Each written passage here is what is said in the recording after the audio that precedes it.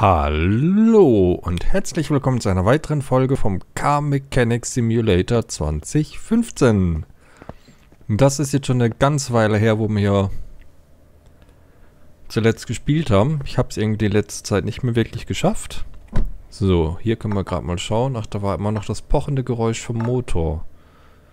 Genau, ähm... Ja. Machen wir mal die Ölwanne ab. Ähm, vielleicht ist da irgendwie ein Lagerdefekt. Ups. Wo ist denn die Ölablassschraube? Schräubchen? Wo, ach, da ist sie. Da versteckt sie sich. So.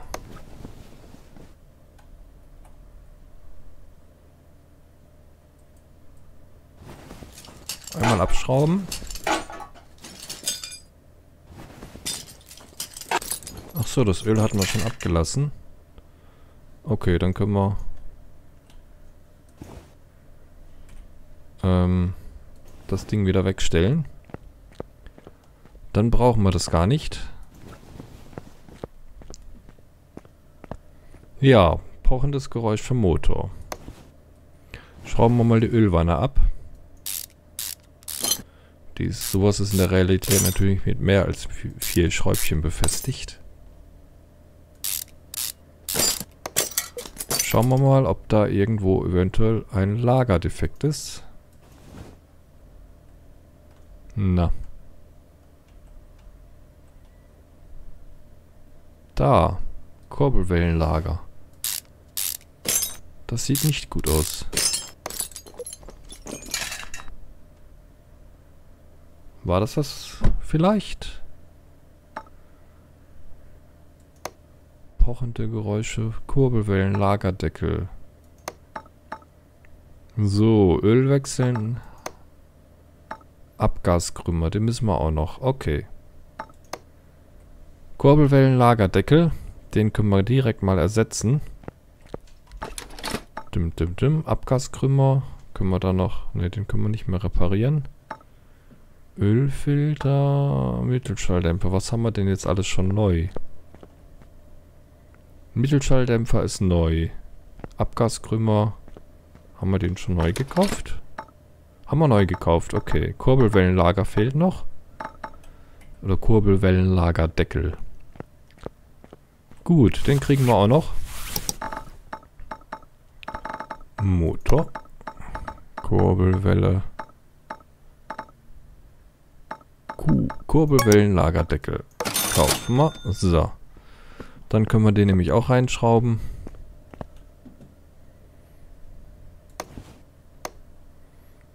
Ähm.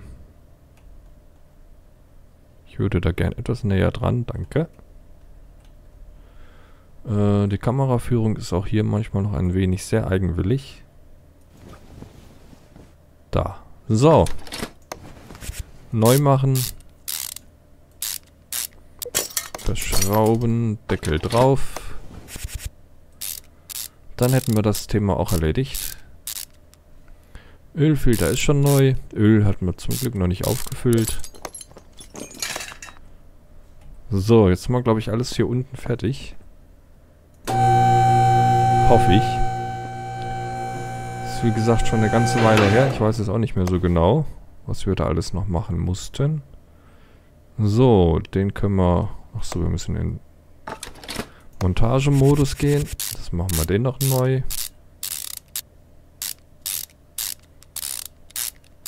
Dann können wir noch das Öl auffüllen. So. Die muss wieder ran.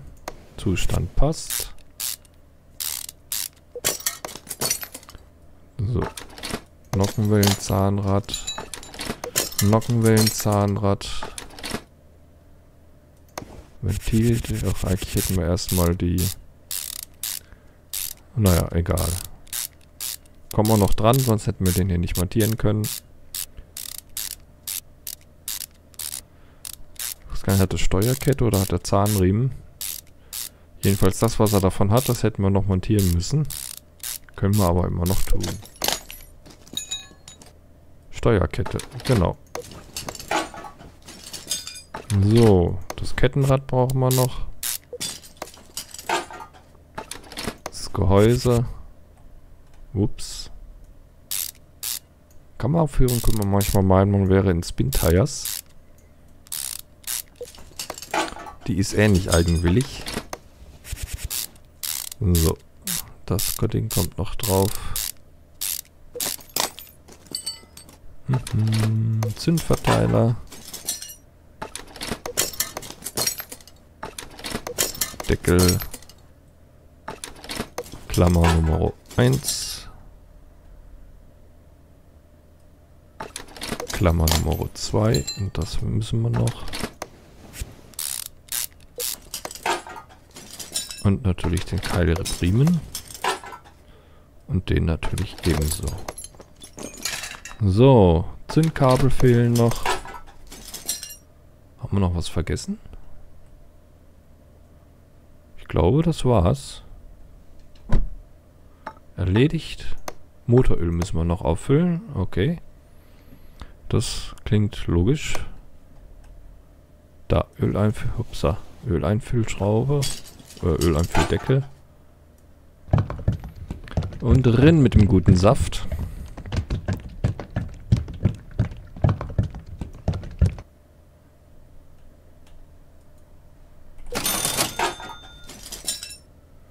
So, jetzt können wir gerade mal kurz noch schauen, ob genug Öl drin ist. Das passt. So, Deckel drauf und dann sollten wir eigentlich alles erledigt haben. Grün, grün, grün. Auftrag abschließen. Ist unvollständig. Anlasser fehlt. Ups.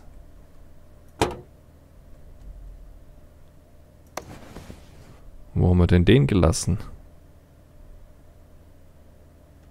Äh. Der.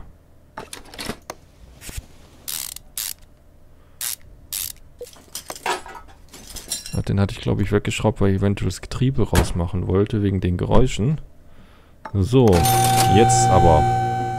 Gut, den haben wir ab, abgefrühstückt. Jetzt schauen wir mal, was der Kollege hier will. Klopfende Geräusche aus dem Motorraum. Ebenfalls. Ersetze alle Filter. Kraftstofffilter, Ölfilter, runder Luftfilter. Okay. Filter ist schon mal nicht so das Problem. Außer wir finden sie vielleicht nicht. Da war doch, glaube ich, da ist der Kraftstofffilter. So, da drunter ist der Luftfilter. Der muss weg. So, ähm... Ölfilter. Können schon mal das Teil hier holen. Weil jetzt müssen wir erstmal das Öl ablassen, sonst gibt es Sauerei auf dem Boden und das kostet.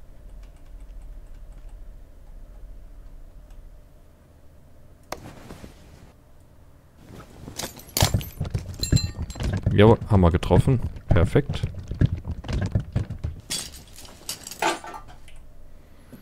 Und weg mit dem Ding. So. Dann machen wir hier einmal den Ölfilter weg. Den müssen wir sowieso wechseln. Dann schrauben wir mal die Ölwanne ab. Ich fürchte, das ist nämlich auch wieder ein Lagerdefekt. Wir hätten eigentlich eine Probefahrt machen können, ne? Naja, jetzt ist zu spät.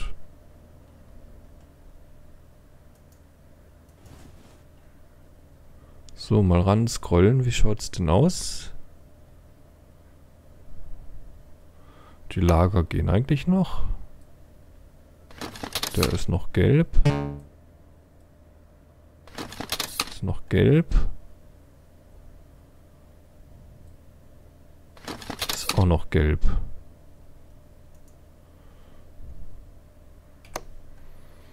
Okay. Die sind schon mal nicht. Können wir eigentlich die Ölwanne wieder dran... Ja, lassen wir sie mal weg. Nicht, dass wir da irgendwelche Zylinder oder so tauschen müssen. Aber das heißt, wir müssen mal hier oben dran. Ähm, schrauben wir mal das Teil weg.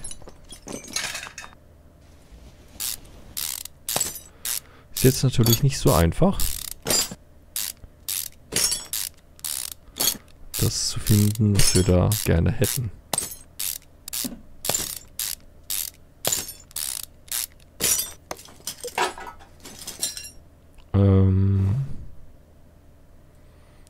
Müssen wir aber mal abschrauben.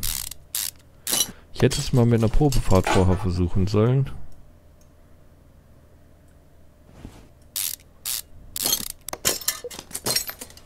Jetzt ist zu spät. Jetzt habe ich nämlich keine Lust mehr, das alles zusammenzuschrauben. Vor allen Dingen müssten wir dann Öl einlassen. Um es dann möglicherweise nachher wieder abzulassen. Nicht so das Ideale. Hoppla.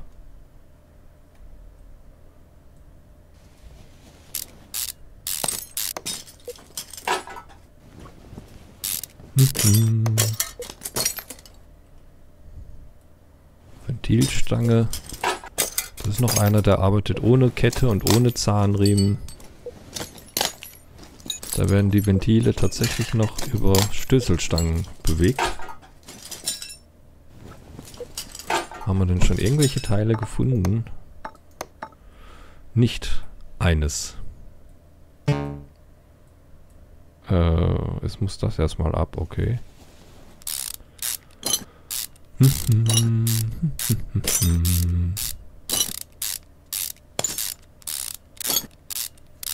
Guter alter V8.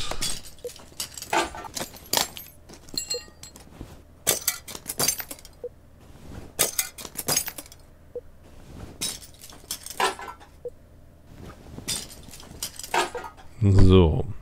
Immer noch keine Teile gefunden.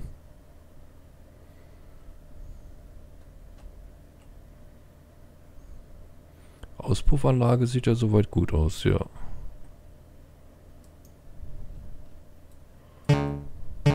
Ach so, das hier muss erst noch weg. Vorher müssen die Vergaser runter.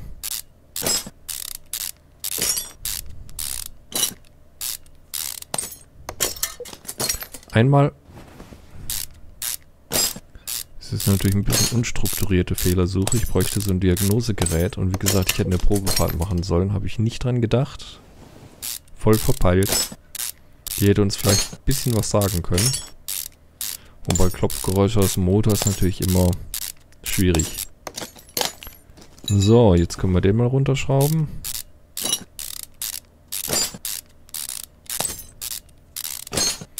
Dann sieht man zumindest mal, wie so die Kolben aussehen. Aber wenn wir die runter rausmachen müssen, dann... Oh, die sind eigentlich gar nicht so schlecht. Kann ich die von hier prüfen? Kann nur mit Druckgerät überprüft werden. Okay. Sehen aber eigentlich gar nicht so schlecht aus. Ja, die Klammern, ich weiß.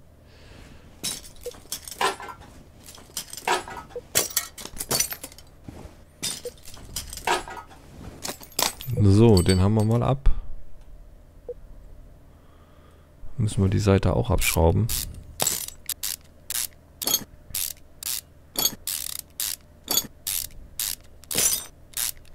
Hm.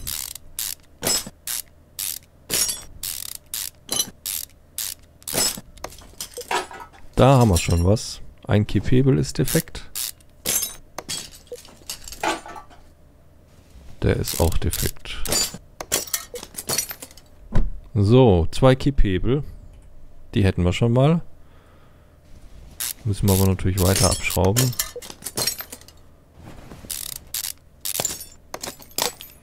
Vor allen Dingen müssen wir das nachher alles wieder zusammenschrauben. Weil es manchmal so eine Fehlersuche ist dann teilweise gar nicht so einfach.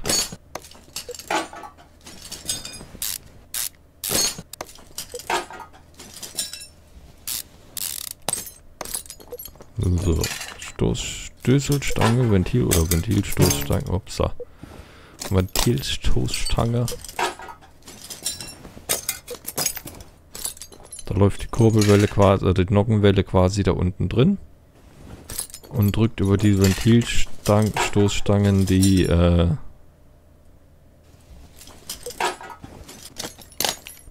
die, ähm, Ventile auf und zu. Oder drückt sie auf, zu gehen sie über die Federkraft. Und bevor ich hier das alles abschraube, sollte ich gleich mal gucken, ob ich inzwischen schon noch mehr Teile gefunden habe, die nicht in Ordnung sind. Wäre gar nicht mal so...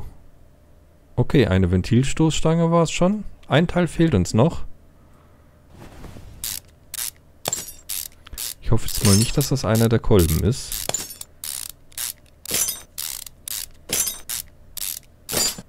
Dann müssen wir nämlich richtig noch abbauen. Achso, das ist noch eine Schraube. Nö, die Kolben sehen gut aus. Ähm, was hätten wir denn dann noch?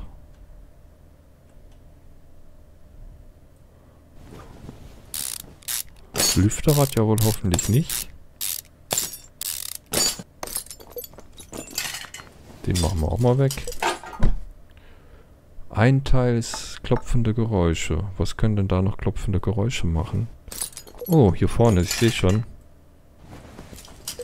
Die ist, glaube ich, die Kurbelwellenscheibe ist verbraucht. Jawoll. Wir haben sie alle. So, ähm... Jetzt müssen wir erstmal gucken, was wir denn alles brauchen. Zweimal Kipebel.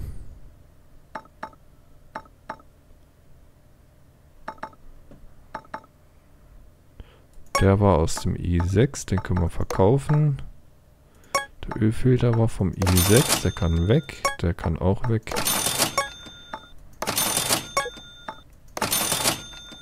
So, da brauchen wir einen runden Luftfilter, einen schwarzen Ölfilter und den Benzinfilter. Da fangen wir mal mit an. Dann haben wir nämlich die ganzen Filter schon mal. Filter. Kraftstofffilter. Dann den schwarzen Ölfilter für den V8, genau, und den runden Luftfilter. Zwei Vergaser. So, das wäre das eine. Ach so, können wir ja. Äh, Blödsinn. Doch, I war ja richtig. Ich hm, vergesst es einfach. Den können wir verkaufen. Den können wir verkaufen. So. Kipphebel hatten wir zwei. Zweimal Kipphebel, einmal Stoßstange und einmal Keilrepriemen. War das der Riemen? Nö, die Riemenscheibe, oder? Jetzt bin ich verwirrt. Der Riemen, okay. Keilrepriemen V8.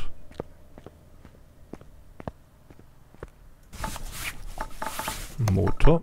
So. Keilrepriemen v BV8 OHV. Genau. Dann brauchten wir zwei Kipphebel.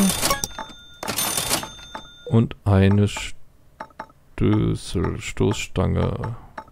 Ventilstoßstange unter V am ehesten zu finden. Da ist sie doch. So, hätten wir. Dann fangen wir mal von unten her an. Weil dann können wir nachher oben fertig machen und Öl rein und gut ist. Und wenn wir jetzt Öl das, rein, das Öl reinkippen, ist das nicht gut. So ohne Ölwanne. Macht sich ganz schlecht. Gibt eine Riesenschwanerei auf dem Boden. Sollte man deswegen tunlichst unterlassen. So. Einmal der noch. Dann wären wir hier unten fertig. Runter mit der Kiste.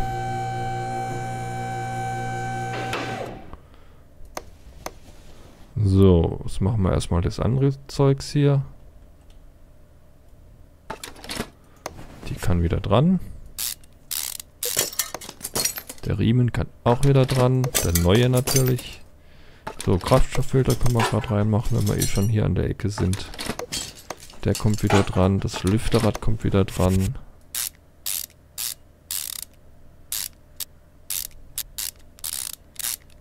So. Na, du auch noch. Und dann der Kühler natürlich. So. Das können wir auch gerade wieder dran machen. Hätten wir gar nicht abschrauben brauchen.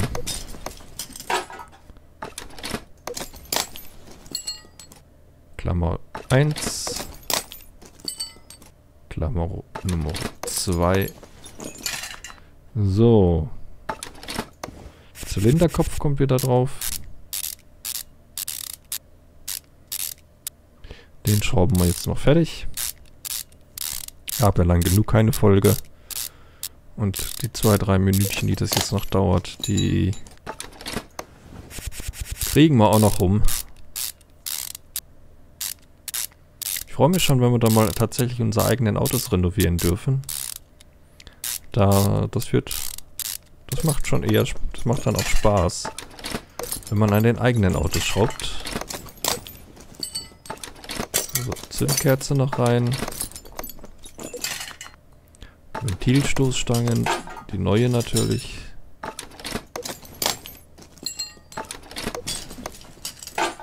So.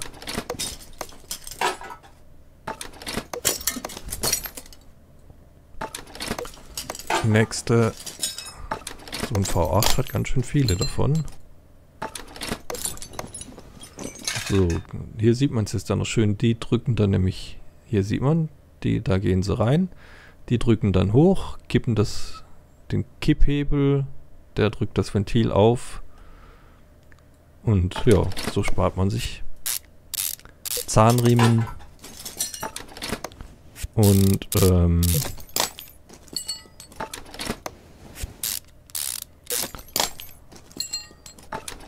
ja, den Zahnriemen oder Steuerkette spart man sich. Hat den Vorteil, kann nicht kaputt gehen. Hat natürlich den Nachteil, jetzt ist vom... Äh, ist, ist glaube ich, einfach träger. Also kann... Und wenn es jetzt ein 16-Ventiler wäre, also vier Ventile pro Zylin Zylinder, dann wird das richtig spaßig. Wenn man da die ganzen Stößelstangen da durchführen muss. Und ist glaube ich auch ein Platzproblem dann. Hat aber halt wie gesagt den Vorteil, da reißt kein Zahnriemen oder auch keine Steuerkette. Das funktioniert einfach. Deswegen halt viel in alten Autos zu finden.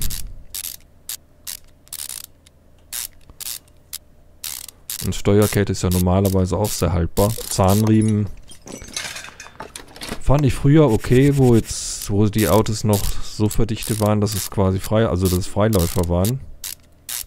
Ähm, da konnte der Zahnriemen reißen, dann war er zwar halt kaputt, aber man, man legte einen neuen auf und konnte dann weiterfahren. Da kollidierte nichts. Das ist ja bei den neueren Fahrzeugen nicht mehr der Fall. Oder was das Neue auch schon bei relativ... Zwischen auch schon relativ alten Fahrzeugen. Und, ähm... Wenn da halt der Riemen reißt, dann haut es in der Regel die Kolben und Ventile zusammen. Und dann hat man einen richtig schönen, kräftigen Motorschaden. Mit Glück nur die Ventile, mit Pech muss man den Kopf noch mit einschleifen. Mit noch mehr Pech sind die äh, Kolben beschädigt. Und mit noch sehr viel mehr Pech ist dann auch noch die Nockenwelle gebrochen. Also es kann schon eine teure Angelegenheit werden. So ein Zahnriemenriss. Steuerkette kann natürlich theoretisch auch reißen.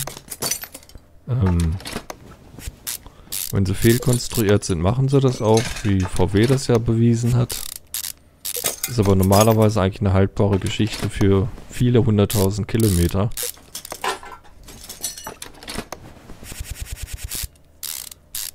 Deswegen... Aber muss halt vernünftig konstruiert sein.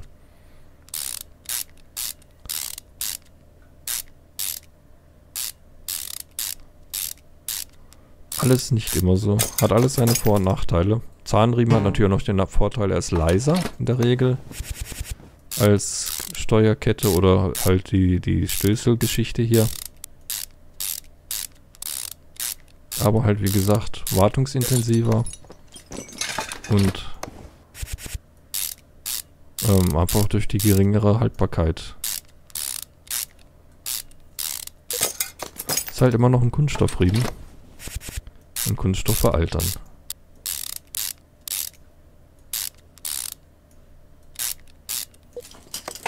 So, Deckel drauf.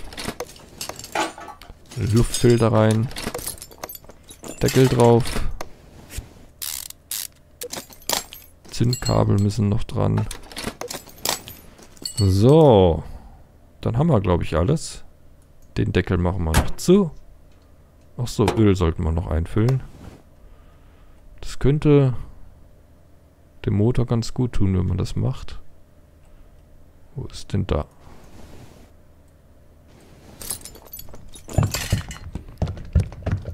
Ohne Öl fährt er nicht weit.